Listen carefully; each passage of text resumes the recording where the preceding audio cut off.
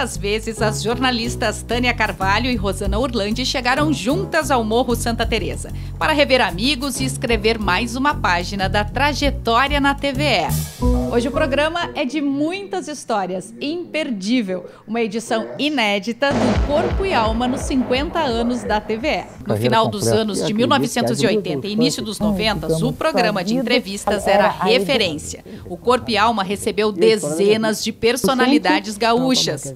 Do capitalismo, muita coisa se utiliza no socialismo. O, a dialética diz, se afirma que é superação. Era também ponto de agenda obrigatória na mídia do Rio Grande do ah, Sul para artistas e autoridades da cena sociopolítica e cultural do país. Boa noite, Paulo Fran. Boa noite, Tânia.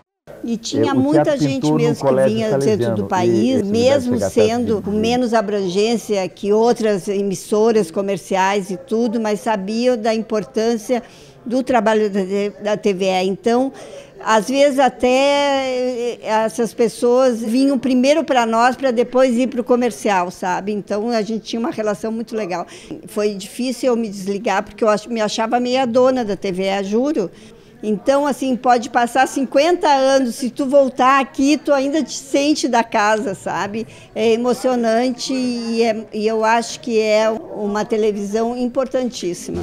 Nessa edição comemorativa, o convidado de Tânia Carvalho é o José Pedro Goulart, que também revive histórias com a TVE. Eu comecei a me emocionar aqui no pórtico quando eu entrei aqui, né? E estacionei o carro e vim devagarinho ali entrando, aí vi vocês, comecei a ver o estúdio e tá assim colado como se fosse ontem. É engraçado isso, sabe? As, as memórias, como, como elas, quando elas são muito importantes para nós, elas ficam ali gravadas, coladinhas, entendeu? E eu foi uma conversa muito legal com a Tânia Carvalho há pouco. Eu agradeço vocês por terem me convidado e fiquei realmente muito emocionado com tudo. Com seu carisma e talento de sempre, a Tânia Carvalho, que começou na emissora no tempo da PUC, ao longo de duas décadas comandou diversos programas na TVE. Ela foi a primeira apresentadora do Estação Cultura. Que abertura linda, né? E hoje colecionou mais uma entrevista no Corpo e Alma. Foi emocionante, a gente riu, a gente chorou, continuamos rindo, nos emocionamos muito e foi maravilhoso. Eu espero que vocês gostem. Eu adorei entrevistar o Zé Pedro, porque a gente se conhece assim, desde os primórdios da TVE e, e não contamos todas as histórias, mas quase todas.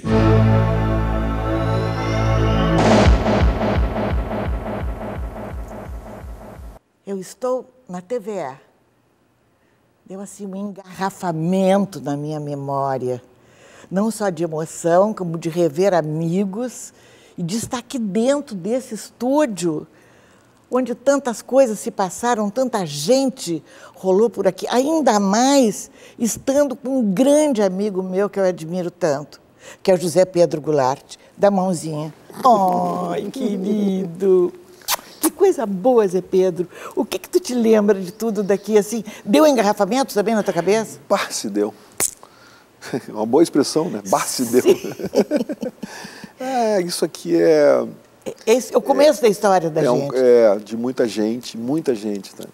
E a gente fez uma parte, sim, eu, eu, eu me lembro, assim, das, das minhas trajetórias da minha vida, que sim. são algumas em lugares diferentes e tal, talvez com, não tenha tanto carinho quanto eu tenho aqui com a TVE e a lembrança. Sim. Enfim, aqui o meu pai eh, também trabalhou aqui, foi, foi demais. Eu me lembro do teu pai caminhando no corredor, uhum. lá do fundo da direção, ele vindo para cá. Me lembro perfeitamente do seu Goulart. Ele era muito meu amigo. É. Fiz tantos programas tão bons aqui. E o Corpo e Alma era um deles. Uhum. Eu não sei se eu cheguei a te entrevistar, mas eu acho que tu era muito pequeno, muito jovem. Mas, é Pedro, antes de começar a nossa conversa, tem uma surpresa para ti. Olha. Que é um vídeo contando quase toda a tua história. Opa! Quase toda. Vamos ver? invariavelmente. Tá o José Pedro Goulart é gaúcho, porto-alegrense, mas seus trabalhos foram bem além dessas fronteiras. Pelo mundo, um cara de comunicação. Nós conseguimos, eu acho, com o tempo, é, traduzir um pouco essa capacidade que a gente tinha no cinema gaúcho de produzir para produzir propaganda bem feita. E com isso a gente acabou chamando a atenção de empresas importantes que a gente está fazendo agora um trabalho internacional para eles. Por aqui na TVE ele já falou de publicidade, mas muito mais sobre cinema para destacar alguns de seus filmes. O último como diretor, que é também o primeiro longa-metragem. Na Mostra Nacional, Outro Gaúcho. O filme Ponto Zero, de José Pedro Goulart. A história de um garoto e a sua, a sua transição, a sua passagem da infância para a adolescência, com tudo que significa isso de espinhoso. Do premiado curta O Pulso. Amanhã a gente fica sabendo na autópsia. Parece que o pulso, ele pretende causar um impacto. O cinema de uma maneira geral, mas acho que o curta-metragem especialmente, ele tem assim um, um, senso de provocação, que esse assunto, que é um assunto que lida com a morte, que lida com um raciocínio existencial, ele acaba causando impacto. E o filme tem uma intensidade muito grande. E dos trabalhos dirigidos junto com Jorge Furtado, de 1986, um dos marcos do cinema brasileiro, o dia em que Dorival encarou a guarda. E não pensa que eu tô brincando não, Catarina! Primeiro, el dia que Dorival enfrentou a Jorge Furtado a José Pedro la guardia de Jorge Furtado y Pedro Goulart del Brasil.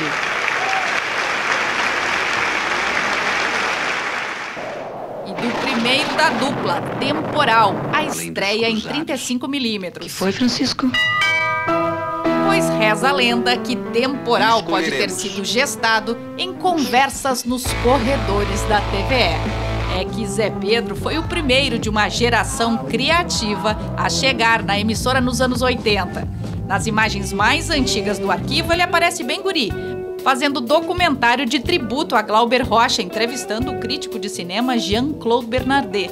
Mas chegou antes, quando a emissora ainda era na PUC, em 1980. Pediu emprego para José Antônio Dauti. Depois subiu o morro na mudança para o antigo prédio da precursora TV Piratini, onde ele também trabalhou, viu? Mas essa é outra história. Na TVE tem muitas matérias de cobertura do Festival de Cinema de Gramado. Esse ano, 31 filmes participarão das mostras, tanto paralelas como mostras oficiais. Entradas ao vivo. Conversa dando força para essa gurizada que faz tanto, é isso aí. E entrevistas memoráveis. Todo livro ensejam não sei quantas leituras, ou, ou tantas leituras quanto sejam os leitores. Esse especial foi para o Kizumba, programa que misturava jornalismo com um quadro de ficção, de onde saíram fundadores da Casa de Cinema. E também foi da equipe do Pra Começo de Conversa, um programa que deu visibilidade para o comportamento e as questões dos jovens no momento do fim da ditadura e início da abertura política do país. O Zé Pedro, nos últimos anos na TVE, foi um dos mais jovens diretores de programação de uma emissora gaúcha. Para programação jovem. Palmas, meu amigo. Ser chamado pelo Coppola não é mole hum. e não é para qualquer um. O que, que, te lembrou tudo isso? Ah, uma, Se passa bem, em primeiro lugar, estou emocionado. Muito obrigado para o pessoal da produção aí. Bah, eu não sabia que tinha tanto material aqui ainda, né? Que tinha sobrado, porque teve, a gente teve um incêndio, a gente perdeu coisas, né? E ver assim agora muitas coisas eu nunca tinha visto na só quando foi quando foram gravadas né? bom eu também te confesso que me vieram lágrimas aos olhos é, as tuas é, também é com certeza fecha nele que ele está chorando como dizia o Cláudio Brito fecha em mim que eu estou chorando fecha em mim que eu estou chorando Zé Pedro a tua vida começou aqui. Que engraçado, tu fizeste oceanologia, oceanografia? Eu, eu que comecei que geologia. Geologia.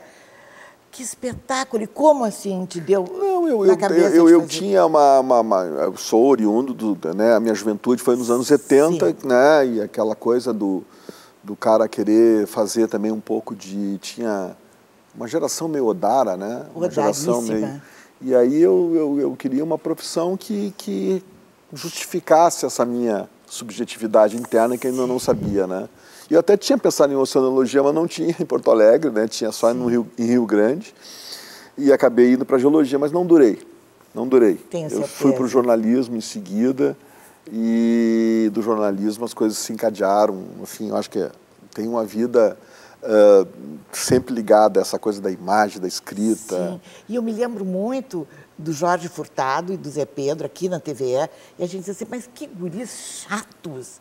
Eles queriam, porque vocês vinham de noite para editar coisas, para criar, e ah, esses guris sempre aqui pentelhando ao redor e tal. E vocês ali estavam começando uma carreira de cinema.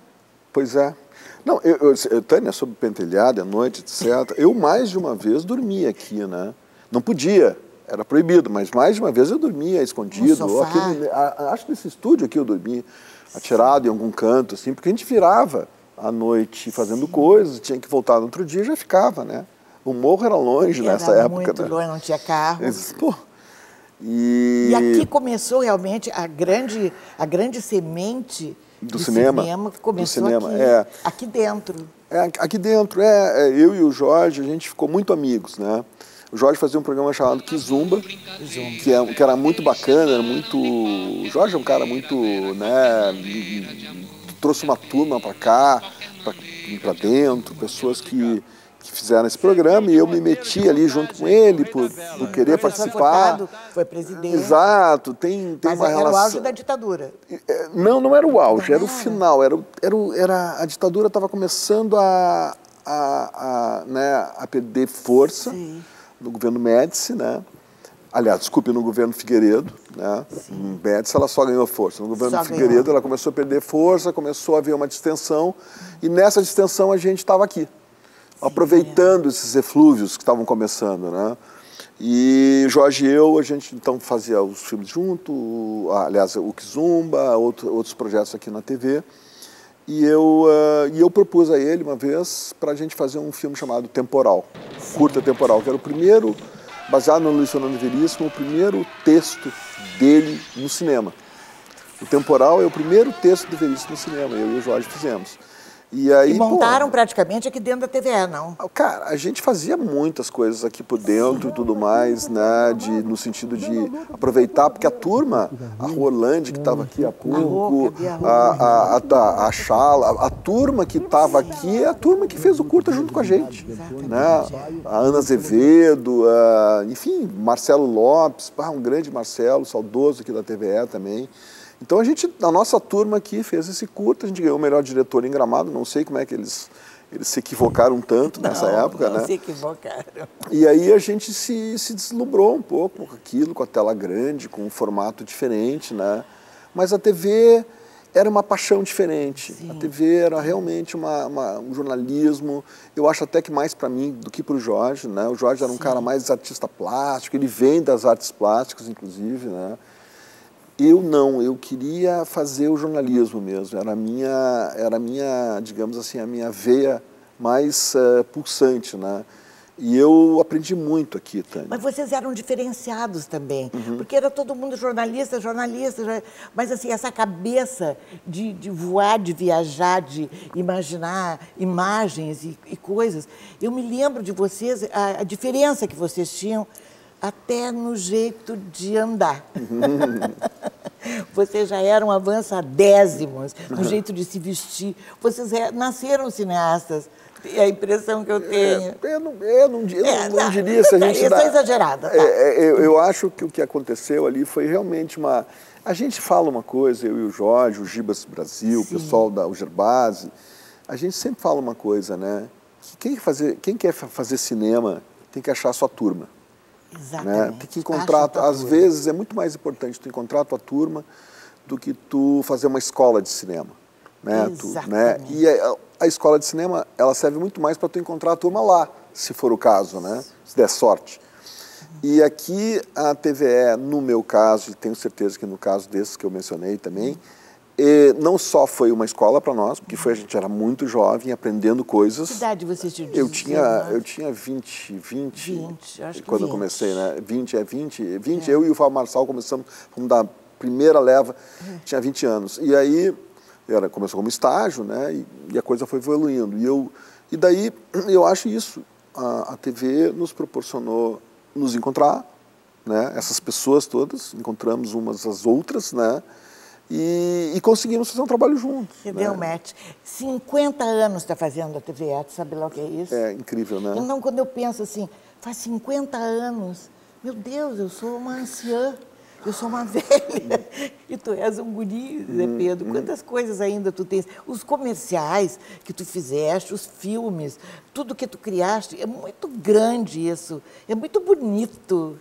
Né, Zé Pedro? Eu, eu, te agradeço, Tânia. Não, tu é, é uma, é uma pessoa muito... Todo mundo acha que é verdade e sabe que é verdade. Eu, eu acho que eu, eu não, não, não, não eu vou reconhecer a, a, o comentário elogioso porque ele é, ele é justo. A gente tem uma, um trabalho Sim. considerável mesmo. A gente fez um trabalho, inclusive, especialmente na produção, que é notável para muita gente fora daqui também, né?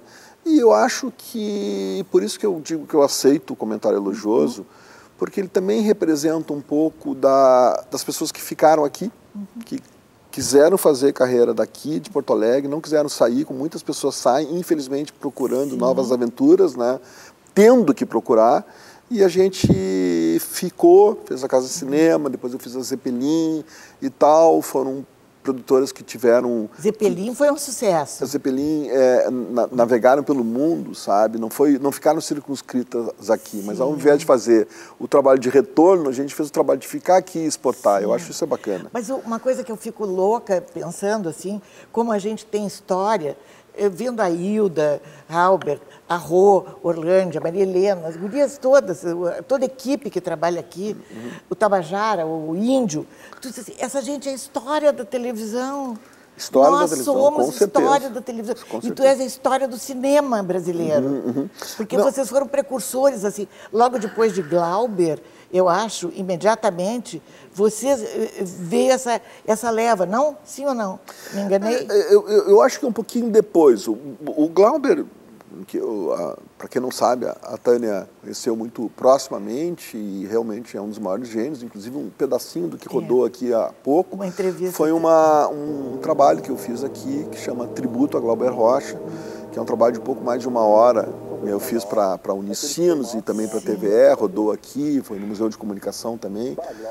E eu acho que o Glauber é um pouquinho antes, a gente é já é de uma geração Sim. terceira depois do Glauber, terceira, né? Terceira. E, e ainda quando o cinema brasileiro, e eu acho que também a gente fez uma, uma coisa chamada Primavera dos Curtas, que as pessoas falam. Primavera dos Curtas, quando, quando o Dorival entra na cena junto com outros curtas. O dia que Dorival ele, perdeu é, a guarda. O dia em que Dorival encarou a guarda, ele, ele, representa uma, uma geração nova chegando, né?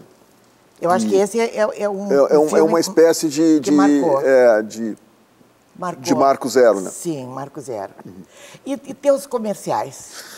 Como é que também, como é que tu foi? Porque aí dizia assim, não, eu não vou fazer.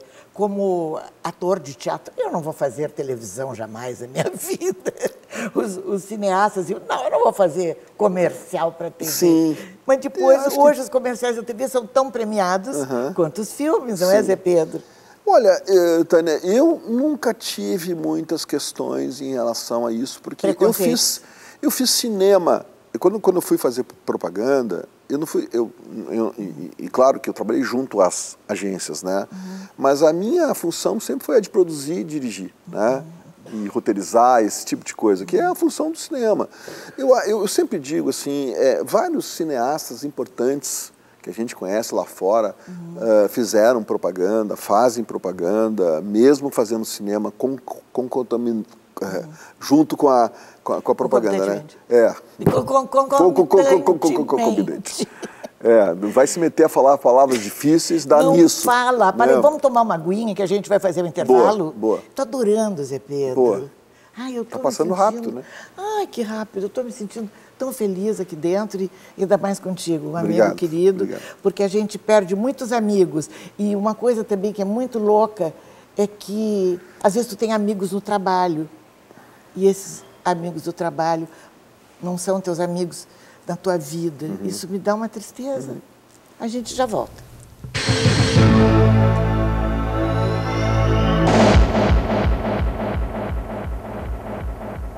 Se Pedro e eu não paramos de falar. Festejamos estes 50 anos da TVE com o corpo e a alma. Eu adoro esse nome do programa. Zé Pedro, a gente estava pensando assim, como é que um cara que recebe um prêmio do Coppola volta normal para o Brasil e para Porto Alegre?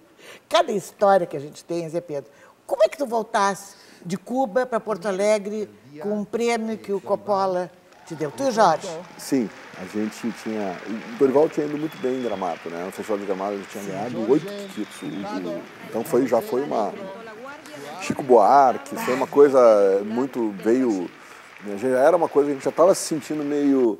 Uh, importante. Estrela, estrela. Importante, né? Importante. Porque quando tu tem 25 anos, 25, 26 Sim. anos, né? E, no, e numa época em que realmente a cultura ela tinha um impacto na sociedade muito grande. As coisas eram muito faladas desse jeito, né?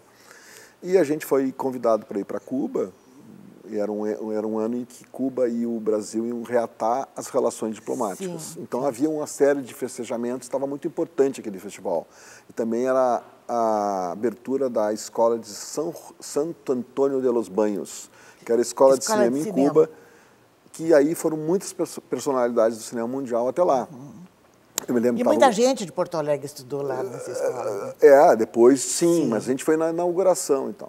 Sim. E foi aí o Gregory Peck, a, a Lara do, do, do, do, Lembra da Lara?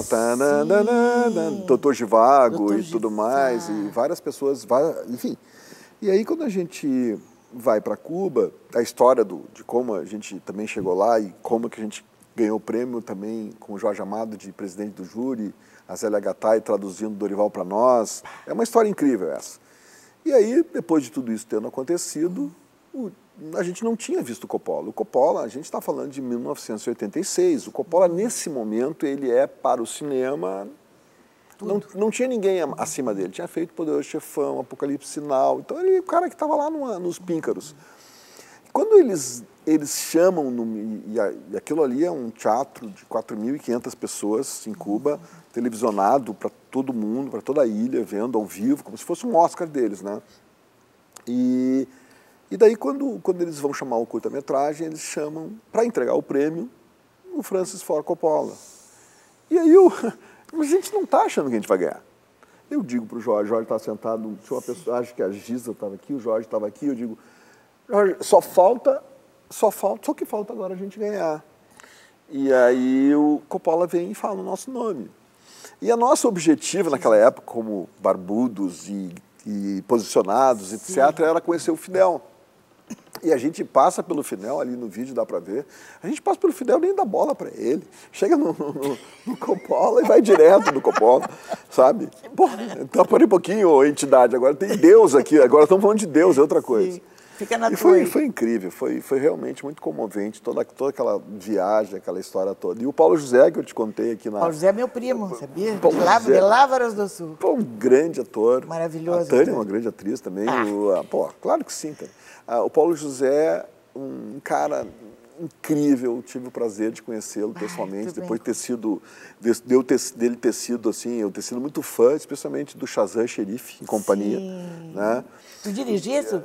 O, o, não, o Shazam Xerife era uma série que tinha eu na Globo sei. ainda nos anos 70. Mas de, não, não, não, não, não, era, não eu era criança, tá, eu era criança lá. E daí eu conheci o, Zé, o Paulo José, e ele dizia assim, quando ele entrava no estúdio, a gente, ele filmava publicidade aqui em Porto Alegre Sim. também, eu, eu, eu ficava, chegava e ele estava no restaurante, eu entrava e ele dizia, Zé Pedro Goulart, o homem que apertou a mão do Coppola. Ai, ele sempre maravilha. dizia, ele sempre dizia. Eu adorava quando eu entrava no Teatro de Arena, eu era muito amiga da Dina, e ele dizia assim, mas que luz é aquela que brilha na moldura da janela? Fala de novo, anjo resplandecente. Então ele dizia Romeu e Julieta em gauchês, era muito engraçado. Eu conheci a Tânia Carvalho, Ai. Eu conheci a Tânia Carvalho na TVE da PUC, na TVE da PUC. Eu nunca vou me esquecer. Claro, eu conhecia ela antes, na televisão, ela era muito famosa. Inclusive, ela queria ver ela pelada, porque tinha uma história que ela, sabe, ela, Tomei não sei um se ela já contou, banheiro, ela foi tomar um banho e ela ficava anunciando que ia tomar um banho de banheiro e eu... A banheira era transparente. Como assim? como assim? A pessoa vai. Né? Nós estamos nos anos 70, eu acho, final dos anos 70, tudo era proibido. Claro, Gilberto, aquele louco. Vai, vai, vai tomar banho de banheiro aqui. Bom. Tava aí, de maiô cor da pele embaixo, é, pra enganar a torcida. Pra enganar a torcida, TV preto e branco, sabe como é que é? E aí eu, eu tô, eu tô na, na PUC, primeira vez que eu vou na PUC, lá onde estava o Daut lá, foi, foi o cara que começou essa nova revolução, né, junto com meu pai, inclusive, a gente citou há pouco, né? E, e, até, e o, o Daut tinha chamado a Tânia, é, o Tatata e outras pessoas que eram lá da, da, do Porto Visão, Sim. onde ele trabalhava com eles, para dar uma força para ele na TVE. Fazer e o eu, café da manhã. E eu nunca tinha visto a Tânia. A Tânia só era assim uma espécie de né, mito para mim e tudo mais. E eu olho assim no corredor da PUC, que está a Tânia Carvalho andando assim, com uma saia dessa, aqui, ó, aqui na, na, na, na e vem o Tatata, tipo tatata, nunca vou esquecer disso, vem o Tatata e diz assim, Tânia, Carvalho, jeito, Tânia, é, Carvalho, tu viste o Daut? E aí a Tânia pega o vestido e diz assim, só se ele estiver aqui. e eu olhei, esse é o primeiro flash eu digo assim, vai ser ai, divertido. Vai ser divertido essa Vê história. Se ele tá aqui, Vê se ele está aqui, Tatá. Ele, ai, cara. Mas o Tatá era outro, Carvalho. uma pessoa Tatá, eu fiquei de mal incrível. com ele quando ele morreu, é. porque ele não podia ter morrido. Eu até é. hoje sinto muitas saudades dele. É. Muitas, muitas. É, muitas. o Davi Coimbra, que é outro que não podia ter Sim, morrido, querido, me falava muito do Tatato, do programa que vocês faziam juntos e tal. Era... Ele adorava a, as coxas do Davi. Ai, o Davi tem umas coxas lindíssimas. Então a gente ria é. muito. E era um dos programas mais divertidos. Sim. A Ilda, que está aqui sabendo disso, foi o Café TV Com que a gente Com fez certeza. por anos. Que pena, né? Tem que fazer aqui na TV, Caio, quem sabe? Ah, Café é, TV. Pois é, eu já, já. Um a gente fez na Feira do Livro, mas foi só de, uhum. assim. É, é, mas eu amo o Café. O Café TV Com foi o melhor pedaço da minha vida em televisão foi ali com aquela. E era aquela bárbaro, turma. era legal. Ah. O Tatata Pimentel, para se dizer, assim, às vezes o personagem dele escondia a grande cultura e a grande sabedoria que ele tinha. Ele né? era um cara muito. Um cara que divertia os ambientes. Ele, ele, ele, ele às vezes, ele estava sempre na noite, ele fazia um programa na, na, na Sim, TV Gente Com, da noite. Gente da noite. Então ele ficava, e às vezes estava lá na noite já. E volta e meia ele me entrevistava, ele me via, ele me entrevistava. e ele dizia assim, e aí, mais de uma vez, Tânia, mais de uma vez ele dizia assim, Estou aqui com o cineasta Jorge Furtado, porque isso era comum, as pessoas me confundirem com, Sim, com Jorge, e vice-versa, né? Sim. Na época, porque a gente tinha dirigido junto Sim. e tal, etc. E eu tinha duas respostas. Normalmente eu ia dizer assim, mas por que eu, por que eu tomar o vestido hoje, quando a pessoa me perguntava isso, né? Pegar no pé do Jorge. Mas nesse dia, estava ao vivo, ele disse, estou aqui com o Jorge. Eu falei, sim, Roberto Gigante. Está muito bem, perfeito, perfeito. Mas esse Tatata, ele queria, eu não sabia se ele queria me bater, me engolir, o que, que ia ser. É, mas era o máximo, era o máximo. E, e, e ele, para implicar com o Teddy Correia, ele dizia assim, eu queria dizer uma coisa, rock não é música.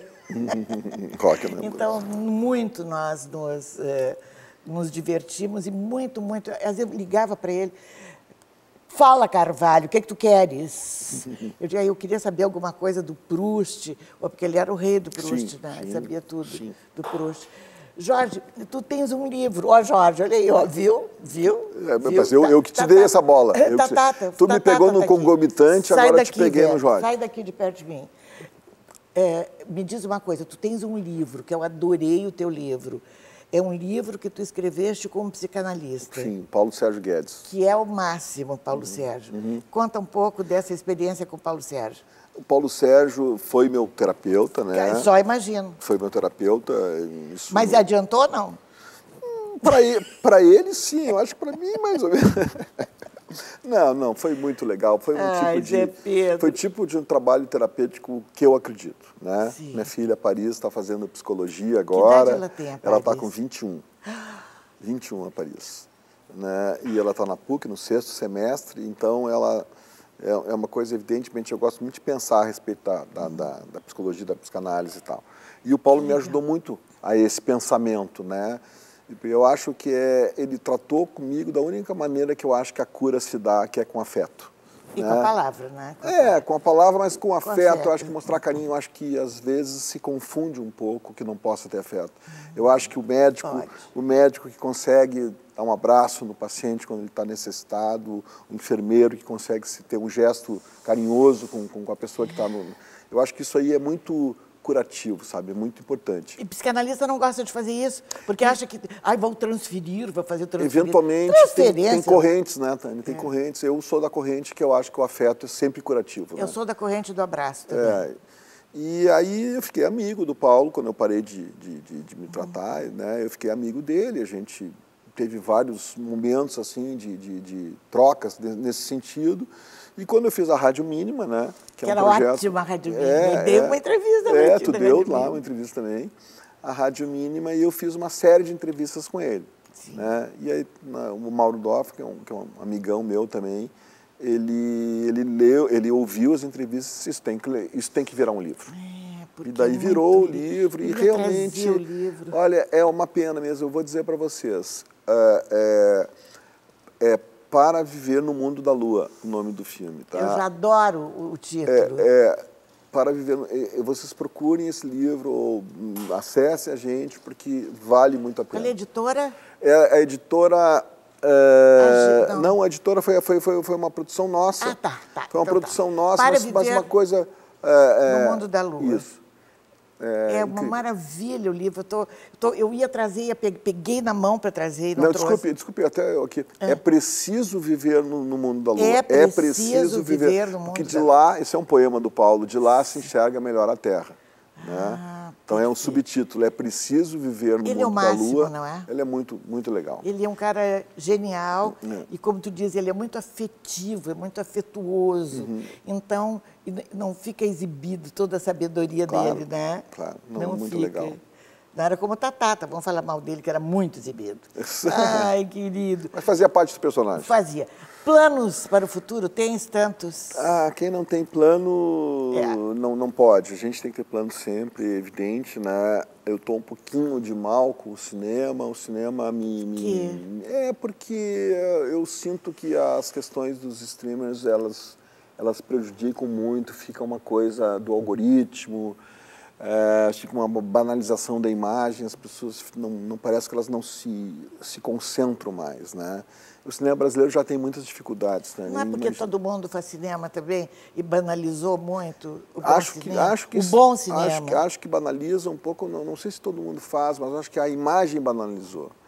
A fruição exagerada da, dos TikToks, da, da, das redes sociais, ela acaba, do YouTube, ela acaba, hoje em dia, todo mundo é cineasta. O que não é ruim, é. por um lado, é. democratiza, mas, por outro lado, impede o, o trânsito. Vulgariza. Impede o trânsito de algumas pessoas que talvez pudessem estar transitando nessa avenida com uma espécie de, de né, vou voltar a palavra, uma espécie de fruição maior para como a arte. É verdade. Muito, né? é, tem tanto, acho que tem tanta gente talentosa, mas tem poucos, ultimamente tem poucos cineastas uh, de valor. Eu não sei, eu não sei como é que eu vou dizer para não magoar as pessoas. Tem muita gente boa, maravilhosa, talentosa, uhum. mas assim tem muita gente que não ultrapassou um ponto de, de ser um bom cineasta e fazer um bom filme. É... Como é que eu digo isso para não magoar o pessoal? Não, eu acho que é isso. Eu acho que cinema é muito difícil, Tânia.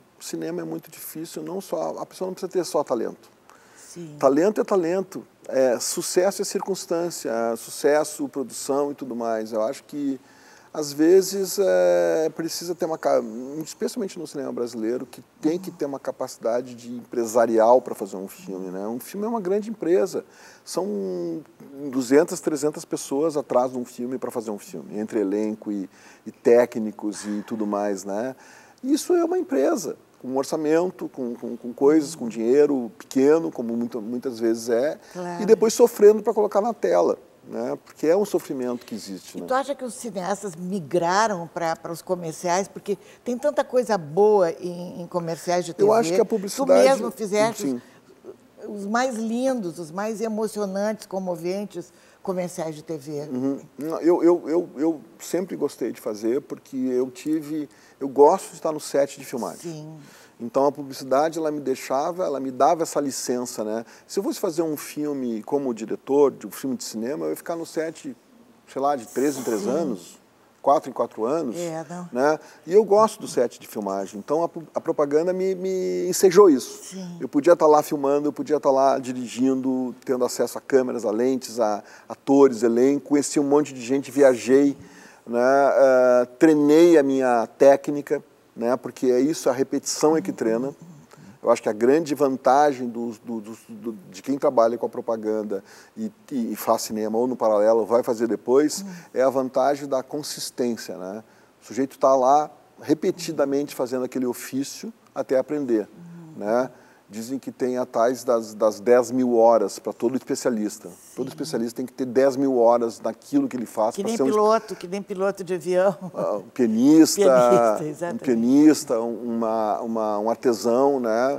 Dizem que é a, a, insistência e a consistência que fazem a, a técnica, é a qualidade verdade. se aprimorar, né? Quantos anos tu tens de de atividade do cinema, não só no cinema, eu, mas na TV? Eu tenho 64 anos, comecei aqui na TV com 20, então são 44 anos né, de, de, de experiência. Eu, eu, eu comecei ali, estava ali ah, quando, eu quando eu via o videozinho, tinha, foi mencionada a questão da TV Piratini. Sim. Esse prédio, eu gosto de contar uma história, mas, pessoal, uma história pessoal, mas como o programa aqui está me entrevistando, eu acho que eu tenho direito, né? Deves. Eu nasci no dia 20 de dezembro de 1959, a Quase meia, Capricórnio. A uma e meia da tarde, é Sagitário. Quase. A uma e meia da tarde. E, e a minha mãe gostava de contar, a dona Diva, que Uh, quando eu nasci, havia foguetes, na, na, na, muitos foguetes na, cidade. Sim. Eu disse, ah, é, mãe, porque eu nasci?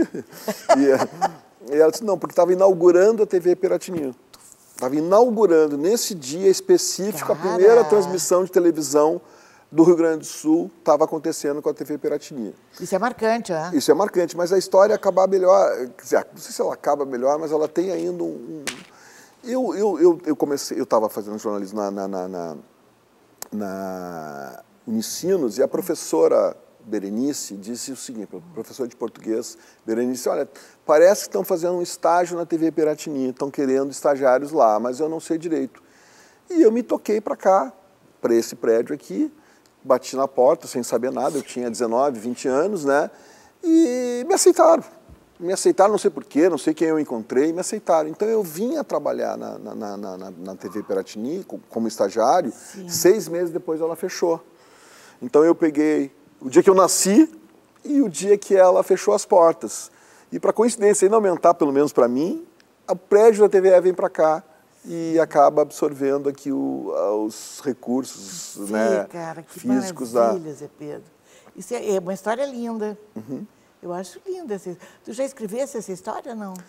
Eu, eu Essas coincidências, eu acho tão é, bonito. Eu fiz muitas crônicas, né? eu tenho meus livros de crônicas, as crônicas que eu escrevi na Zero Hora, escrevi na Zero Hora há muito tempo, Sim. né? E contei muitas coisas que eu gostava de contar um pouco das minhas experiências, assim, de, de guri e de, dessas coisas, desse, dessas, desses olhares, assim, e talvez pudesse ter escrito realmente sobre, sobre essa experiência aqui, né? Nós vamos encerrar esse bloco, Zé Pedro. Segura todas as histórias aí que a gente volta daqui a pouco. Vamos continuar com mais histórias, mais cinema e mais talento de José Pedro Goulart.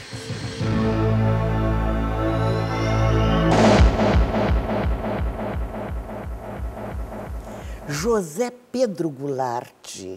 José Pedro escreveu livros, fez filmes, recebeu um prêmio de Coppola, das suas, diretamente das mãos de Coppola. Zé Pedro dirige magnificamente comerciais de TV. Os mais lindos, os do Zafari, são absolutamente maravilhosos. O Zé Pedro viveu aqui dentro da TV e aqui tu começaste uma quase, eu nem sei como dizer, como é que começou a tua vida de cineasta aqui dentro. Ah, eu, eu acho que isso aqui é uma foi uma experiência.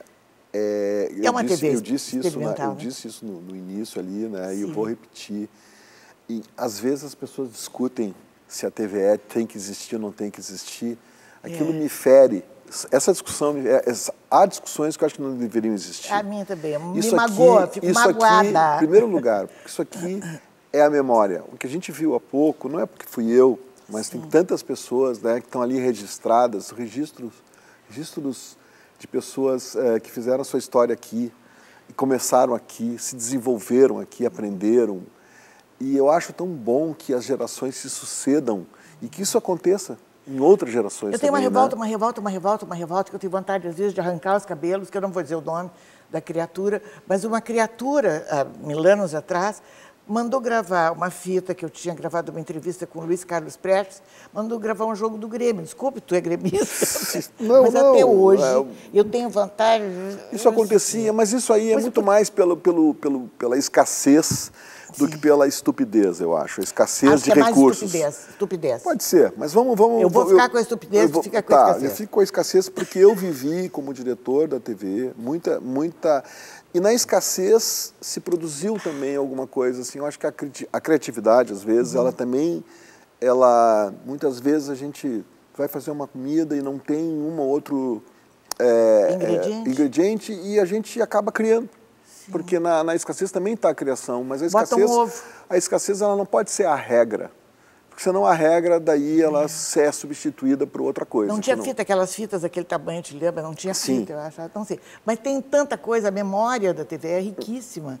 Tem coisas magníficas aqui de. E, e de não é só isso, Tânia. Eu acho que é o desenvolvimento é, orgânico que se tem numa emissora, que é uma emissora que, que pode gerar uma programação uh, intensa, local. Uhum Uh, eu acho que isso aconteceu. Como eu disse, a gente começou, quando eu comecei na TVE, ela era em preto e branco ainda.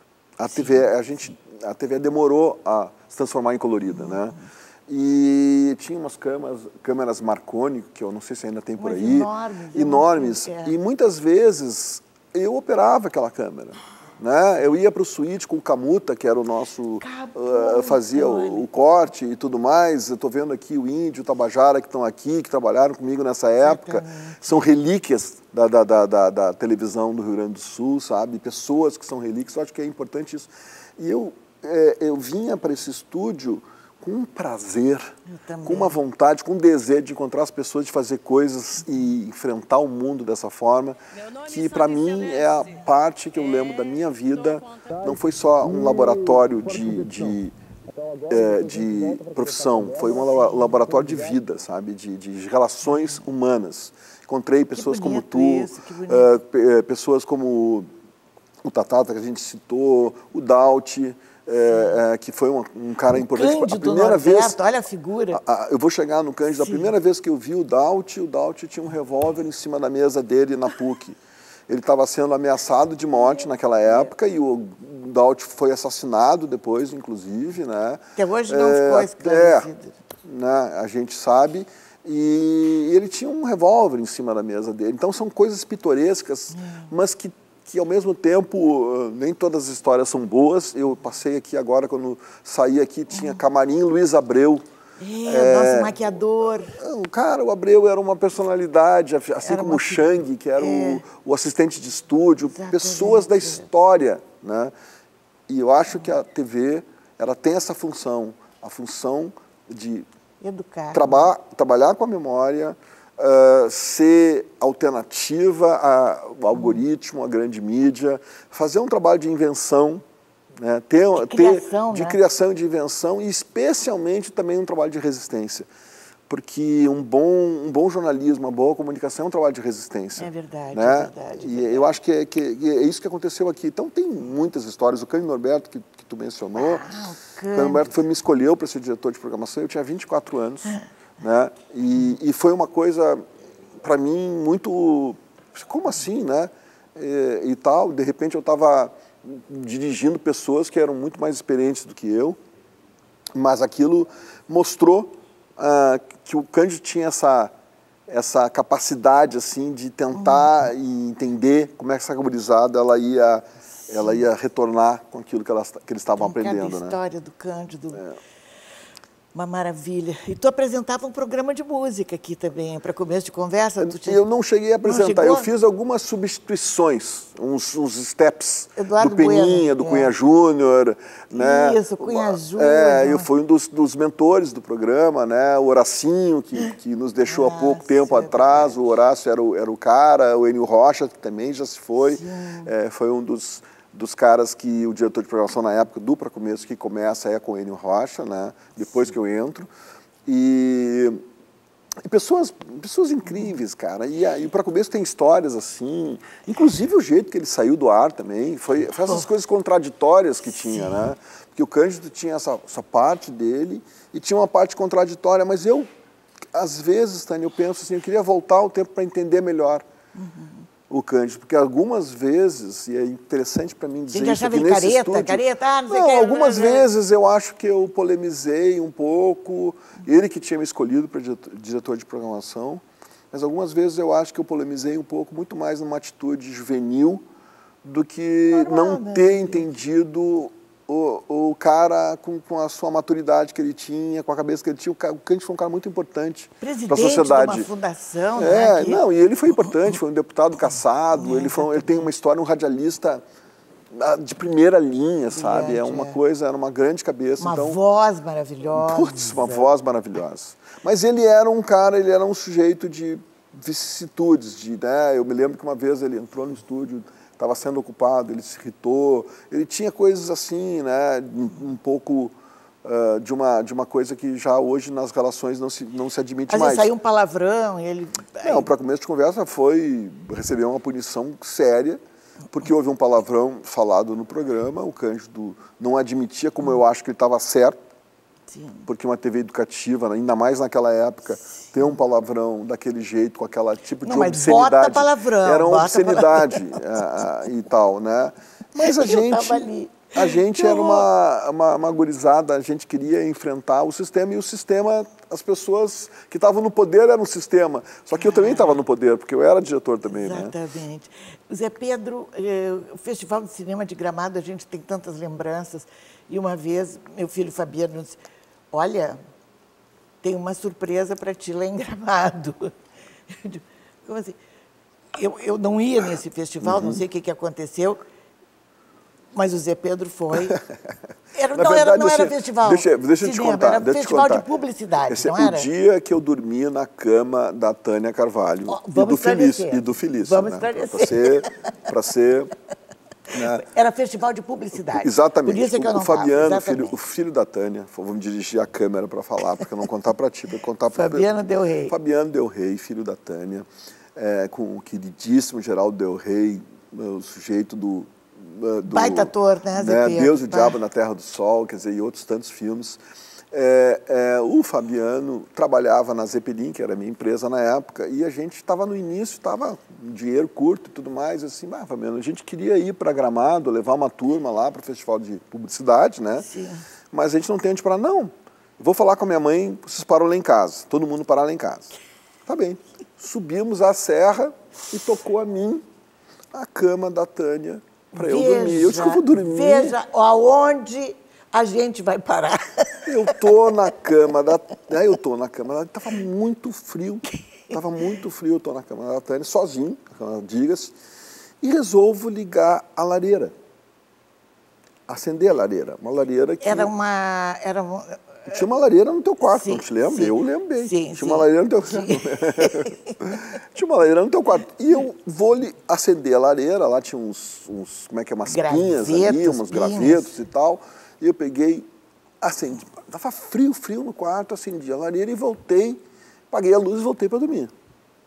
Daqui a pouco eu começo a ouvir um barulho. E aquele barulho, aquele barulho, parei, barulho, que barulho é esse? Mas que barulho é esse? Comecei a me assustar, me assustar. Eu acendi a luz e tinha uma invasão de marimbondos no quarto que eu estava. Mas um negócio assim, havia Devia um ninho, estar na lareira. Tinha um ninho de marimbondos na, na, na, na, na chaminé Juro da lareira. E quando eu liguei com a fumaça, eles vieram. vieram pra, e, e, cara, quase me atacaram. E você sabe que marimbondos é, é, é perigoso, e né? O marimbondo da minha casa é furioso. É, marimbondo, marimbondo de fogo da, da, da, da Tânia.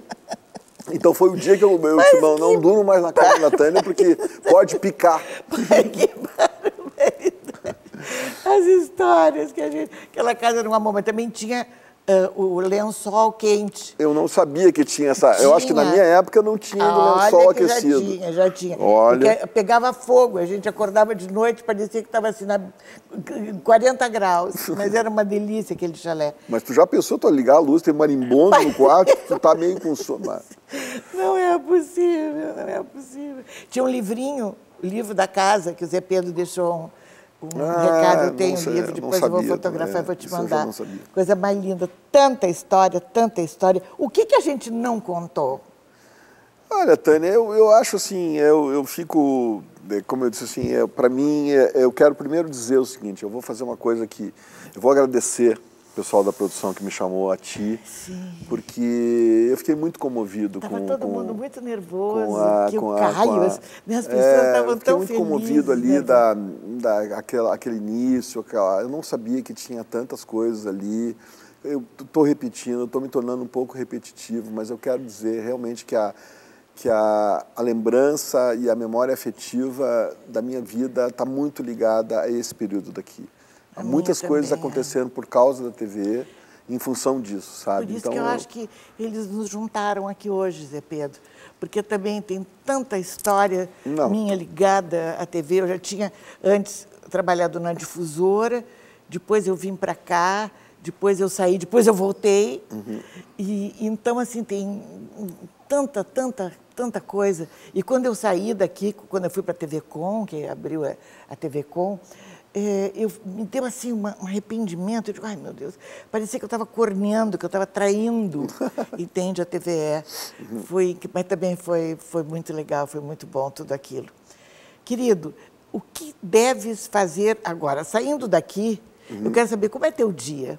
Como, como, o que que tu fazes? Tu crias, tu pensas, nesse momento, tu escreves? Eu, nesse momento, estou produzindo e vou dirigir um, um, um, filme de Natal do Zafre de final de Ai, ano, que né? Legal. já fazia algum tem que chorar de novo? Vão chorar, se não chorar não funcionou o filme, né? Mas aquele choro que a pessoa fica contente. Que lindo, né? é. Tô, eu estou escrevendo uma série que está meio parada, eu falei um pouco ali, num, num livro de um escritor que tu conhece, porque tu comentou há pouco tempo atrás, chamado Mário Arreg. Sim, que o, o, Sérgio Faraco... O Sérgio Faraco traduziu. Traduziu Cavalos ao Amanhecer. Cavalos ao Amanhecer. Cacilda, tu vai fazer esse filme? Eu não sei se eu vou fazer, Tânia, mas eu estou tentando. Gente! é uma série, na verdade, que eu estou pensando em fazer. É, mas é, é uma maravilha. São, é, a Tânia conhece, são contos para as pessoas. Procurem na LPM, que lançou, inclusive, agora o livro junto, porque ele juntar, juntou dois livros traduzidos pelo Sérgio Faraco, do, do Mário Arreg, que é um escritor Mário uruguaio. Arreg. É eu estou em contato com a filha dele e tal. E ele é um escritor uruguaio primoroso, né, já falecido há muito tempo, já há um tempo. É engraçada a relação dele com o Faraco, que é o nosso Faraco, nosso agora patrono da Feira do, Livro, Feira do é. Livro, né? Eu amo o Faraco, é, amo. É um que é um escritor assim magnífico também. Ah, mas Cavalos ao Amanhecer, cara, é. me bateu forte agora aqui no É, é, vamos ver, vamos ver. Eu tô, eu tô, como eu te falei, eu tô um pouco de mal com o sistema, Sim. no sentido de que eu me preocupa se o trabalho vale pela pela falta depois de possibilidades, mas eu acho que ele vai sair. Porque ele se passa todo aqui no Pampa, se passa... E, e eu, eu queria tanto fazer um filme assim que, de alguma forma, voltasse para essa, essa, esse campo bagência que eu conheci tanto na minha infância, Sim. né? Porque tu é de Bagé, A minha família é de lá, eu sou daqui, mas, mas a minha tu família... tem cara de ser de Bagé. Eu não, sou tu cara de Bagé, né? tu eu dizia para o Paulo José, inclusive... Teu pai era de Bagé? É, meu pai, minha mãe Sim, e tal, né? E, a, e aí eu, eu vivi muito naquele aquele, aquele campo ali de guri correndo atrás de vaca, quero, quero, aquele negócio todo, tem o cheiro do campo, quem, quem, quem sabe, né? E, enfim, a, e, a, e também estou escrevendo um romance, mas isso já é uma outra coisa, já é uma coisa mais Ah, pra... mas olha aqui. E depois Sérgio Faraco, uma homenagem para o nosso patrono, porque ele fez um primor de uma tradução né, do, do livro, que é não, ele reescreveu, não é, é mais do que uma tradução. E, e, tem um livro bonito, Tânia, que eu não sei se tu já leu, que é o livro da correspondência entre o Faraca e o Arreg. Sim. Que a, que a LPM também lançou. Sim, sim. E tu sabe que eles que só doido. se encontraram uma vez? Eles mal se conheceram. E mal se conheceram depois de anos e anos trabalhando aqui do lado, Montevidéu e Porto Alegre, mas, mas é que tem a ditadura militar no meio disso, tanto Sim. a do Uruguai quanto a do, do Brasil. Então havia havia questões inerentes a isso. O, o, a Reg era um comunistão daqueles de, de primeira. E né? o Faraco também. Agora, e esse livro, esse segundo livro que ele lançou, ele começou com Lágrimas na Chuva e ele escreveu depois... Tu leu Lágrimas na Chuva? Sim, é um filme. Aquilo ali é É um incrível, filme, né? Lágrimas na Chuva. É. E agora ele escreveu A Dignidade do Cordeiro, é isso? Pois eu não sei. É, eu acho é, que sim. Ele acabou de lançar. É, acabou de lançar, eu já li o livro. E é espetáculo, e é a continuação do Lágrimas na Chuva quando ele veio para o Brasil. Hum. Tu vais adorar. Bah, tu vais adorar, e eu adorei, eu queria te dizer. Me dá tuas mãozinhas. querido, querido. Eu adorei, eu adorei também, muito também. obrigado. Que bom Muita que foi emoção. tu. Que, que, bom que foi tu a pessoa escolhida. É, eu não queria entrevistar o Jorge Furtado. eu queria te agradecer muito em nome de toda a direção da TVE, de toda a produção, uma gente de primeira qualidade e dizer que foi muito, muito lindo conversar contigo e relembrar tudo isso. Muito obrigado. Beijo, querido.